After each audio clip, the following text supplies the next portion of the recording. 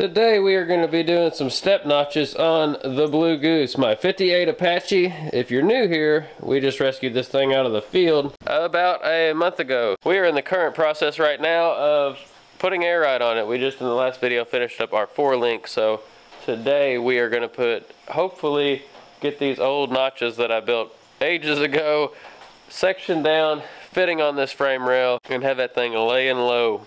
Let's go. Corny jokes are over. So I built these things originally for my 64 C10 back whenever I was just going to do like a normal build. Kind of like what this is turning out to be, just factory frame and everything. But I cut everything off, back half that truck is spiraled out of control. I'm trying not to do that with this truck. So what I'm planning to do is utilize these. Now these are 3x3 square tubing, which I particularly do not like.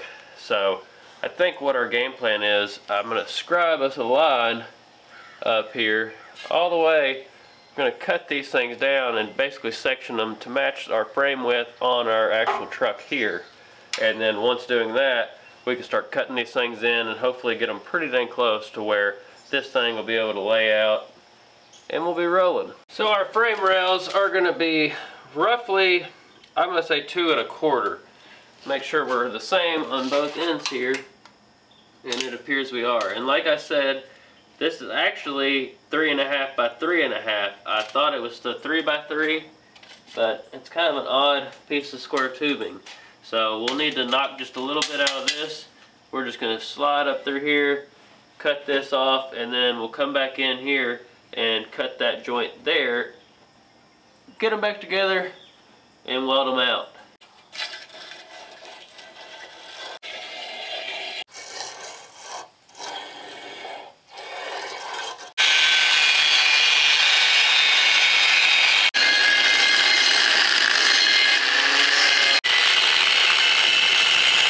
Forgot I had my old cheap Temu plasma cutter. Check this thing out. I already had to rip the finger guard off of it. I couldn't take it anymore.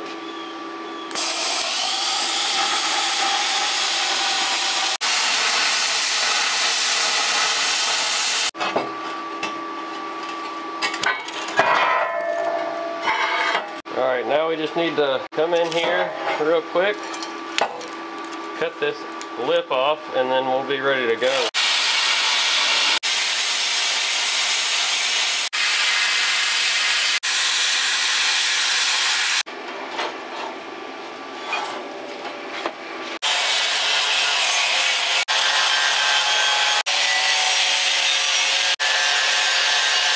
So here is what we got. What we need to do now is just lay some beads down around our perimeter here.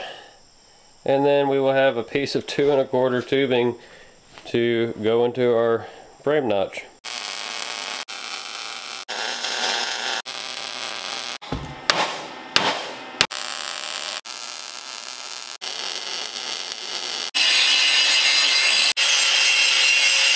Alright, finished product. Hit that thing with a little 80 grit. It is not perfect. It could be blended a lot more than what I've got it and metal finished out. And we may do that when we finally paint the chassis and everything like that. Because after we get this thing all mocked up, we're probably going to blow it all back apart and start painting. So now that we got that thing basically where it's going to be as far as that two and a quarter, we need to snip in there get that thing set down in here. I think this little cross brace behind me is definitely going to have to be removed because it is right in line with where the back of that notch is going to be sitting. We need to snip that out. We still got another notch to do. Yes, I could have probably just got some 2x4 from the loft, cut that, but those things have been sitting out there for three years, so I just wanted to use them up. And it's free to me, everything's already done. Just trying to stay kind of low buck on the back of this thing.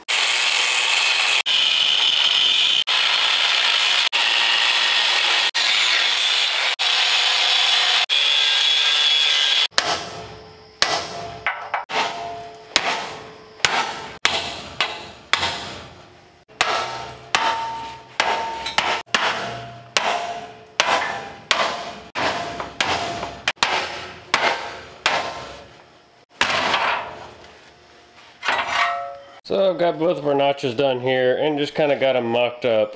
I got this piece of tubing running through here because that's going to utilize where I want the bottom of our notch so I can just kind of set them on there. Then we're going to scribe our lines to make our frame cuts here and then we can slide them notches back in there. Now these notches unfortunately are not going to go all the way down to the bottom. My game plan is what I'm going to do. I'll go ahead and box these in the rest of the way and tie into the bottom of that. We'll also make some fish plates that goes and kind of just ties into this hose section here and it'll all be really boxed in and super strong. So with that being said, I need to get some measurements pulled. The reason I'm doing the notches to this height, I measured to the bottom of the cab and it's eight inches. I'm gonna roughly give ourselves nine inches in our notch just in case we ever want to come down a little bit lower in the rear and have the front up a little bit because you will need to have your notch to be just a little bit lower.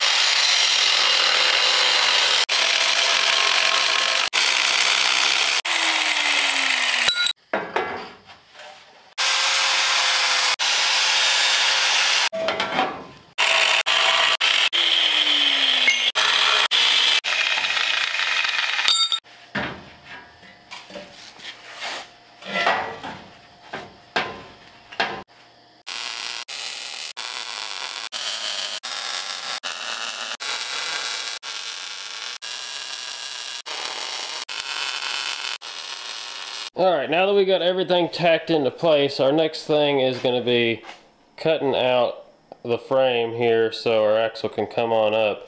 And before I did that, I wanted to get something connected, these two notches, because we cut that cross member out back there, so I didn't want the frame to try to go in on itself. And I lucked out. I actually found this piece back here, and it is pretty much perfect length.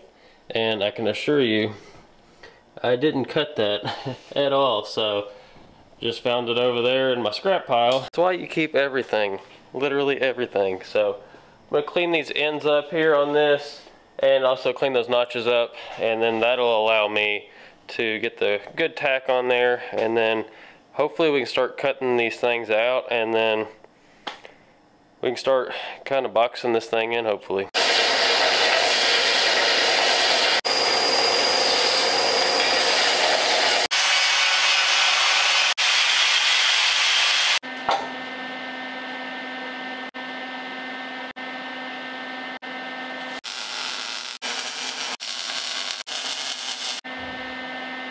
So our next line of attack is going to be getting this middle section right here out, allowing our axle to travel up past the factory frame rail. What I've done is I put us kind of a guide here.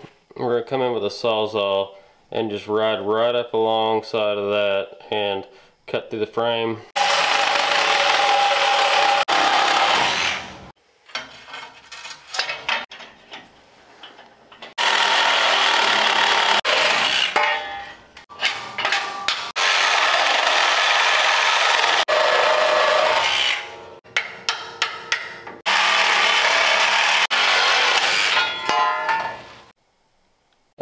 we got everything hacked out of our way and this thing is laying out. Now it's not going to lay fully out right now because the back is or the front is still up pretty good but as you can see back here this is a lot lower than we're even going to be able to go because the bed hangs down quite a bit past our actual frame rails and our actual frame rails are pretty dang close to laying out. All in all pretty happy. I just mocked these wheels up, got a little chisel there holding them in place. But these tires are actually way taller than what we're going to be running. I think they're close to a 30 inch to a 31 inch tall tire, which is going to be way bigger than what I calculated this suspension out for. We're going to run about a 28 like I've got on the 64 over there. All in all, I am tickled to death with that. That looks killer. Now tomorrow I'll come back out here and hopefully we'll box these things in or at least start. I don't know if I'll start boxing the front end because right here, this cross member, as you can tell, it's not going to work out because as you can see, our pinion is way above it, so our drive shaft is going to be way above it too. I might just hold off on boxing these in on this video.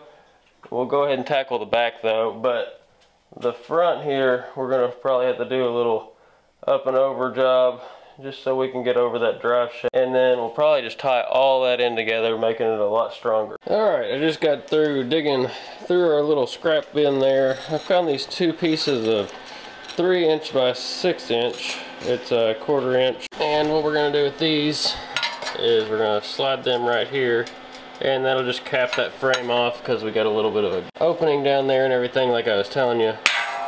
Put that on there weld that all in and then when we do that we'll come in with another little plate here and box all this in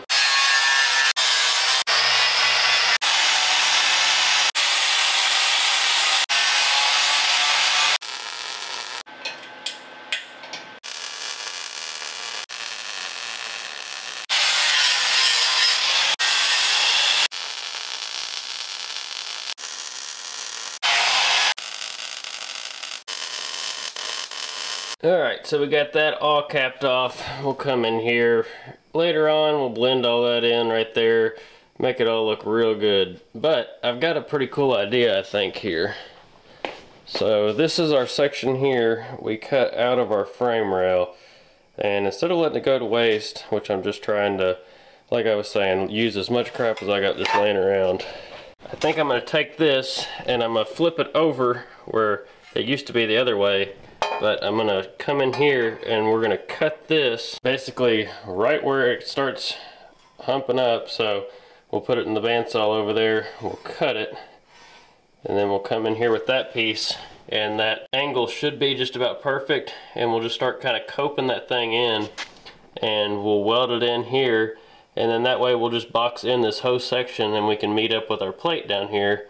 And we'll just box all that in. And then we can just put a cap here in the back and it'll tie that whole thing together. I think we can do the exact same thing up front with this section. I don't know, I'm just trying things. Um, this truck, I really just want it to be a driver so I'm not going crazy with this thing trying to make everything new, nice, and just, you know, over the top. I just want to drive the heck out of this thing and keep it as low buck as I can. That's what I'm going to do. I'm going to use some of the old frame rail. It's not rusted out and rotted out, so might as well.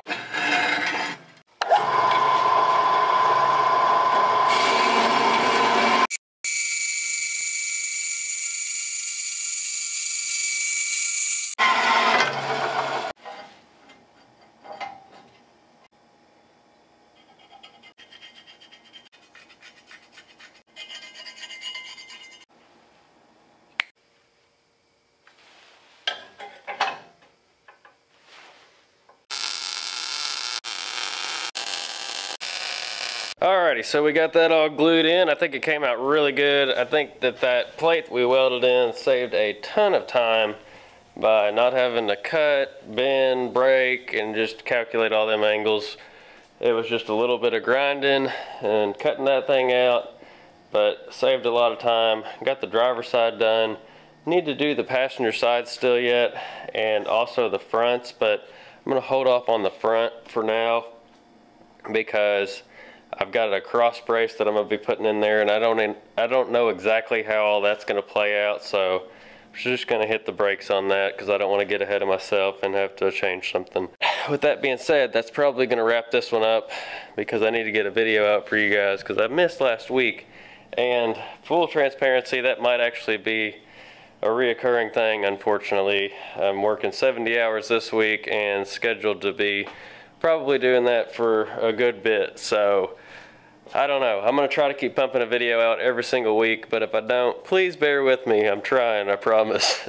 but the truck is coming along great. I think it's going to be awesome, and I cannot wait to show you guys what is coming for that front end. I know I said that in other videos if you've been here before. It's going to be cool, trust me. We are going to be moving on hopefully next week to a cantilever style bag setup. I've never done that, so I'm gonna have to start doing my research and get that figured out.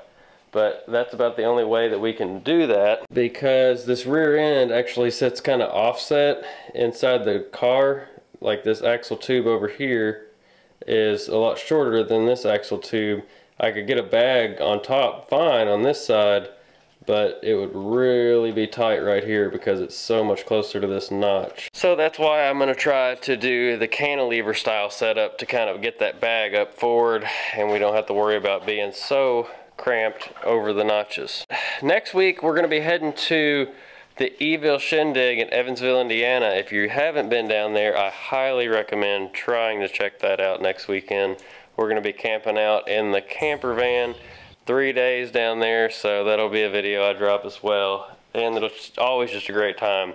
That is plenty of rambling for you to sit through, and I appreciate you sitting through this far. But if you haven't hit the subscribe button. It means a lot to me. And maybe even like the video and a little comment. Get out and work on something. I'll see you on the next one and have a good one.